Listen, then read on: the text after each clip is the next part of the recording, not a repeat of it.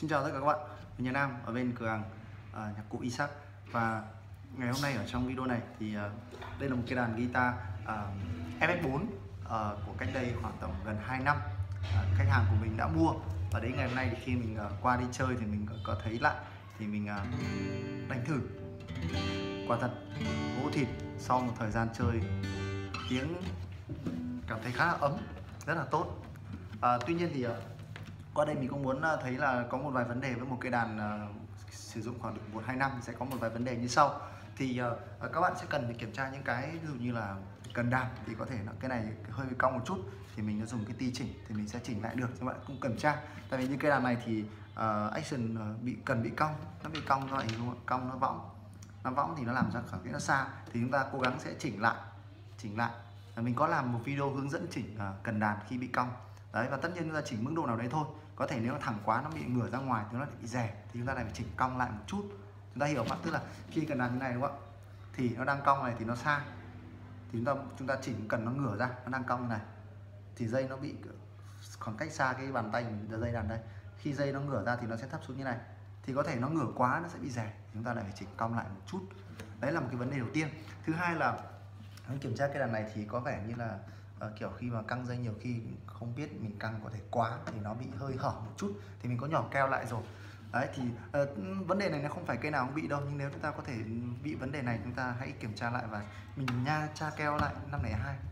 Ấn nó xuống và tra keo lại đây nó hở một chút thôi thì mình coi như là gia cố lại thôi. Đó còn cây đàn này thì uh, anh này cũng không, giữ gìn lắm. Xước xa rất là nhiều nhưng mà các bạn này thấy thế không? Cái này có những vết va đập rất là mạnh nhưng mà có lõm cả đàn nhưng mà không bị sao cả. Độ bền rất là tốt. Đấy, để các bạn nào mà yên tâm.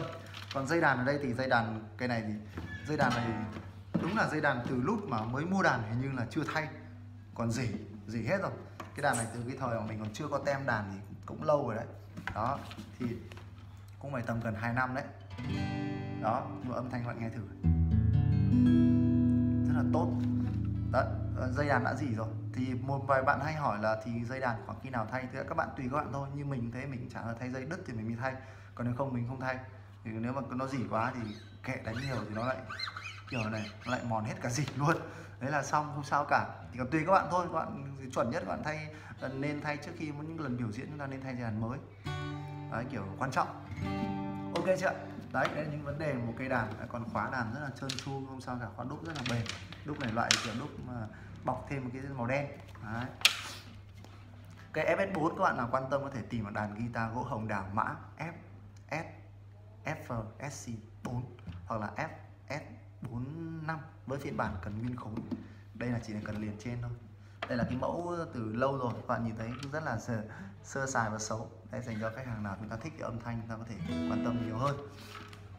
Và một phần nữa là cái đàn này vì là ở đây là mình chơi ở đây là yên tĩnh thành ra tiếng nó cũng sẽ tốt hơn. Khi mình test ở ngoài cửa hàng các bạn sẽ nghe thấy là nó không được uh, uh, ấm lắm đúng không ạ?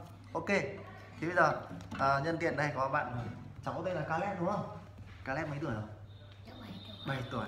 Thế thì hai uh, chú cháu sẽ kết hợp đánh bài bài bài hát. Bây giờ chú đánh bài hát này nó nhẹ cho đánh trống nó nhẹ thôi có nhịp phách rồi ok. À, xin mời tất cả à, quý ông bà anh chị em. À, cô bác xa gần chúng ta.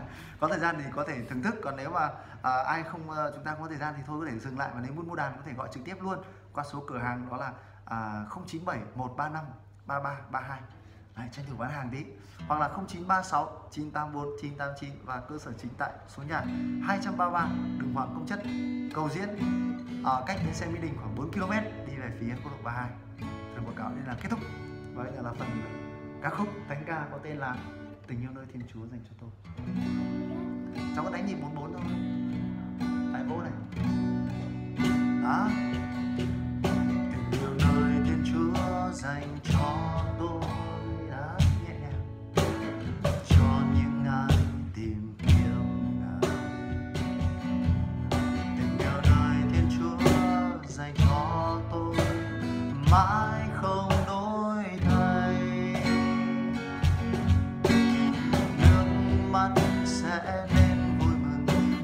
đơn sẽ lên ai